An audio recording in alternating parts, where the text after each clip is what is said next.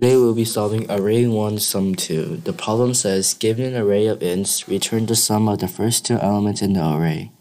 If the array length is less than 2, just sum up the elements that exist, returning 0 if the array length is 0. So first what we'll do is um, write the instance for when the array is uh, greater than 2. First, we'll have an if statement. If nums dot is greater than or equal to 2. And we will return nums 0 plus nums 1,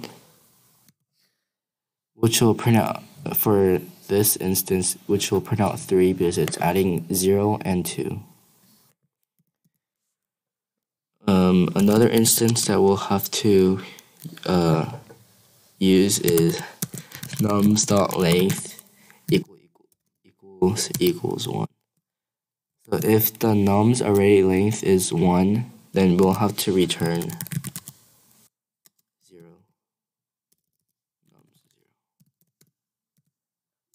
And if it's anything but that, then all we'll have to do is print out